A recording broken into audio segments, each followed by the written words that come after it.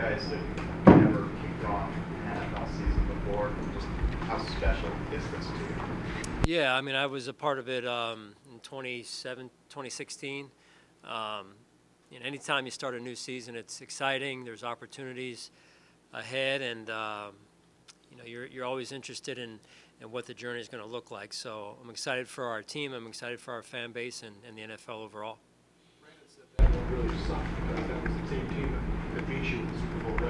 Right? Is this a little different than the Rams? Yeah. Yeah, that, that one, yeah, that one was uh, it was tough, uh, but everything happens for a reason. So uh, you learn from it.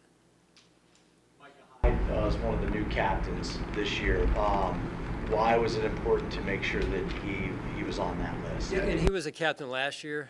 Uh, he was, yeah. Um, so sometimes I think you guys get the overall list, but what happens uh, is we don't send everyone out for every coin flip, so maybe that gets a gives you a distorted view of who the captains are. But he, he was a captain last year also. Yeah, sorry. with the Bills. Um, what does it mean for him just stepping in and already embracing that role? Yeah, I mean, I think you're talking about an, the impact that a player is making on a team and the influence that someone carries. In this case, a, a veteran player that's played at a very high level for a long time. Um, uh, I've been really pleased with that process of him getting to know us, us getting to know him. Um, you know, he is uh, certainly a phenomenal player, but he's also a phenomenal person, and um, I think that's uh, that's sometimes what goes maybe not as celebrated. Um, but I think he really fits into our culture, and, and he's really added a ton to our football team. Is there any way to quantify just how disruptive Aaron Donald can be? Yeah, I mean he's obviously uh, you know the best player in the in the NFL on the defensive side, and, and you turn the tape on in the first three plays, you don't have to go any further than that. You're seeing him make an impact on the game, and uh, you know interrupt offensive rhythm, and you're just trying to get a play run, and he's he's uh, he's he's uh, blowing it up. So um, uh, ex wrestler, I would add. Um, but uh, yeah, he's a phenomenal player.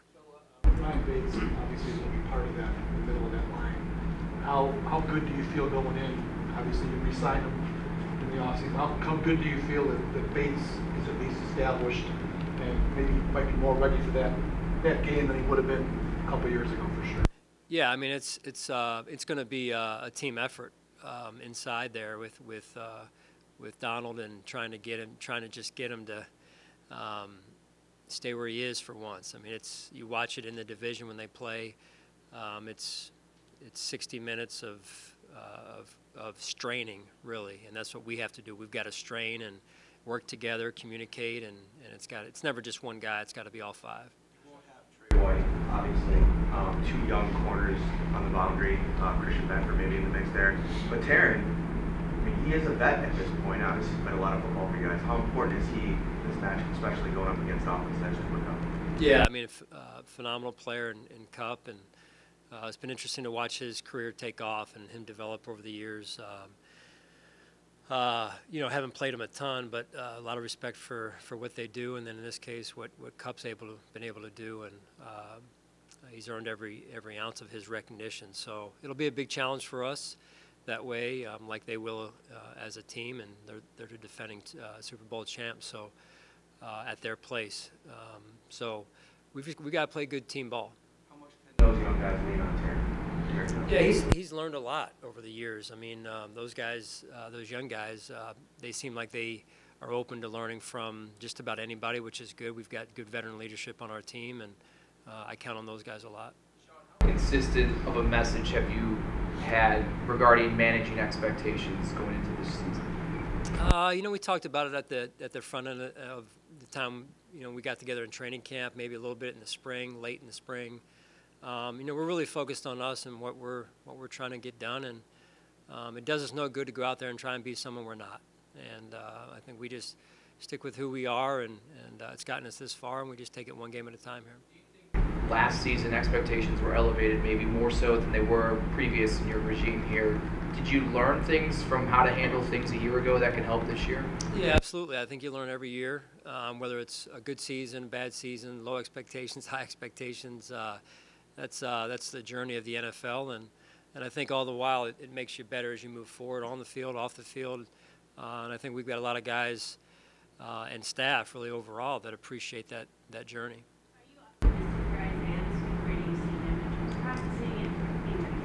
Yeah, you'll see him out there today. Uh, we'll see how he does.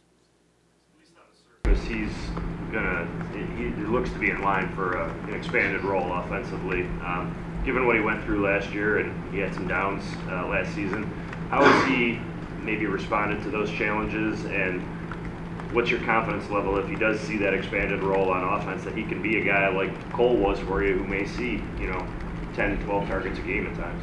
Yeah, you know he'll be his own his own person, his own player. Uh, Cole was phenomenal in there for us, and uh, I think Isaiah will do a good job just the same in terms of what he does and how he does things. Uh, a little bit of a different player, um, but uh, I, I've been very impressed with Isaiah Isaiah overall. Um, he came back in the spring, uh, re-signed obviously, and and uh, he's a big part of what we do. Tim Settle practiced today? Sorry, Tim Settle, he practiced he will today? out there, right? You've seen over the the past months and, and maybe even beyond the season in Ken Dorsey and how prepared and ready he, it gives you confidence of how ready he is for this moment. Well, you know, all you all you can do is work at it, right? And, and Ken's an extremely hard worker. He's very conscientious in his approach uh, as well. And um, there's there's a first time for everyone in terms of the experience factor, and this will be his first time. And uh, as I shared with some of our young coaches, this this will this will be an, uh, quite an introduction to the NFL opening the season uh, on national television. But uh, that makes it fun, you know, and, and uh, I'm sure he'll learn a lot. We'll learn a lot, and we support one another, and, and we go to work. Back to um, captains, Josh was asking about earlier. What's the difference between being a captain on a veteran group that's already kind of achieved some of the things you guys have achieved versus when you first came in and you had to set the room right? You know, I mean, what's the difference of what you're looking for and what the role is of those guys? Yeah, you know, I think because of the, the core expectations just in-house and the messaging and the, and the culture, there, the continuity to that piece is, is, uh, is already established and, and what those guys do, um, you know, there are those that have come before them in some way, but also they have now carried the torch for, in some cases, more than one year uh, on that captain, uh, on that captain uh, board there. So, um, you know, I count on those guys a lot, but uh, it's just not them. I think you know, there's other guys too that I that I count on, that we count on as a team, to lead our football team, and that's the hard part of these electing these captains. Uh, although it's a great honor, there that comes with great responsibility. Number one, but also there's other players on our team that, um, to me, wear an invisible C on their on their chest uh, because of what they bring to our football team and how they steady us and how they inspire us and and uh, and add value to our football team overall. Sorry, there's so much focus on the quarterback, and you have these big moments like like Thursday, and Josh has seemed to really embrace those. But, You know, he, he likes the moment. What does that do for your whole team going in when they know that going in? Not that it's going to play great every time, but that he does shine as opposed to slide back in the big moments. Yeah, I think the moment's what you make of it, right? I mean, uh, Josh has a great way about him in terms of his demeanor, um, how he handles things on the field, off the field, as you know the fans well know uh, by now, and and I think that runs through our team because of his leadership with that. Um, you know, he's very process oriented. He, he puts in the work, and um, you know maybe it's from growing up around the family he grew, he grew up around, and the support that he had, and the and the way he was raised, and the way that he handles things like that. Obviously, Kupp gets a lot of attention there, Stafford. Their running game, though, looks like, I mean, Henderson, I remember Henderson had a great game here against you guys a couple of years ago. Akers in the mix. Is that something that really need to worry about? I mean, it's not just their passing game that's dangerous there? Yeah, they've got multiple ways that they can attack you, and, and they're explosive. I think Sean does a great job of calling it and, and game planning, and uh, um, he's as good as there is out there. So, um, you know, I think we'll have a big challenge there, and um, again, it's got to be it's got to be good team defense overall. integrating a punter so close to the start of the season after you've had all these practices and stuff? Are there any challenges with that, or is it pretty easy? Uh, there could be. I mean, we'll work through those, um, and have a ton of confidence in, in the coaches in that room and also the uh, also Sam and, and T. Bass and, and Reid in this case. Uh, very pleased. Yeah, he seems to fit right in, and uh, he's a veteran player, so he's he's seen a lot of football, and um, you know seems very poised in his approach as well. Jordan in the red non-contact last week. Uh, How optimistic are you that he'll be good to go Thursday? Yeah, um, we're trending in that direction, um, so I'll be surprised if he isn't, Josh. So I plan on him uh, being out there today, and we'll see how he does. Slow ramp up for Spencer throughout training camp. What what makes you feel that he's ready to go full bore now that the regular season's here? Well, I think the key word there that you mentioned is ramp up. Um, he's been able to ramp it up, and and um, in particular the last couple of weeks here, and I give him a lot of credit. He's he's come off of an injury and a surgery, and um, our training staff the same way. They've worked together, and I think the communication seemed uh, to run fairly smooth there, and, and it's gotten him to where he is. So uh, we'll see how he does today. We'll be in pads and um, you know, just take it one day at a time here.